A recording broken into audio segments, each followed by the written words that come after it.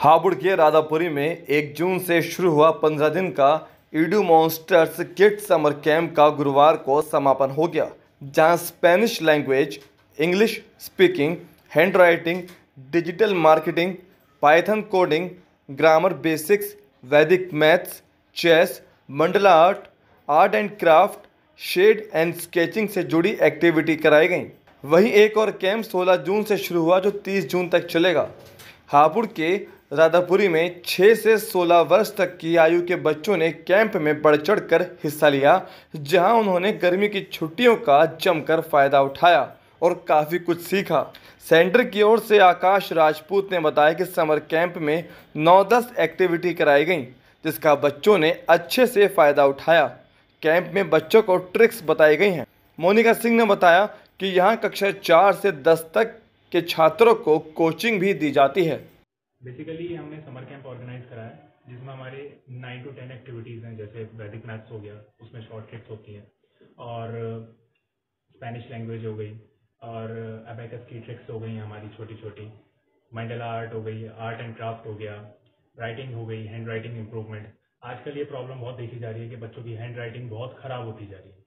तो हमने ये फिफ्टीन डेज़ में ये हमने इनिशिएटिव लिया कि बच्चों की हैंड राइटिंग हम इम्प्रूव कराएँगे। और जो कि हमने देखा भी है कि फ़र्स्ट डे जब हमारे पास में बच्चा आया था तो बहुत पुअर हैंड राइटिंग थी। लेकिन अब फिफ्टीन डे तक आते आते आप देखेंगे खुद ही कि उनकी हैंड राइटिंग में कितना इंप्रूवमेंट आया। प्लस में वैदिक मैथ्स मैंने आपको बताया। कैलकुलेशन का आप कॉम्पिटेटिव एग्ज़ाम्स हो रहे हैं तो इतना टाइम नहीं रहता बच्चों के पास में कि वो एक ही क्वेश्चन को लेंदी करें या क्या करें, उनके पास में इतना टाइम नहीं क्योंकि कंपटीशन इतना बढ़ गया।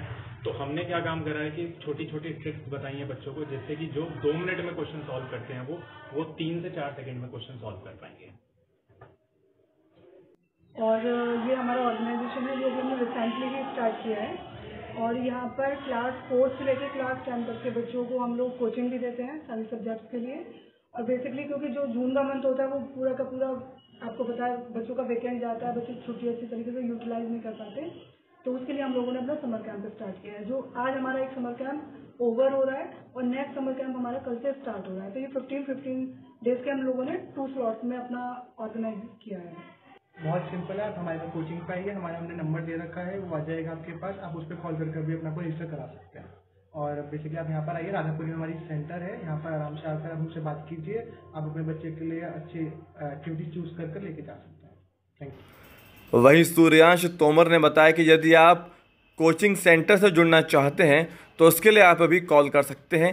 Eight seven double five double three eight two one two पर। समर कैंप में बच्चों ने खूब आनंद लिया और नए दोस्त भी बनाए।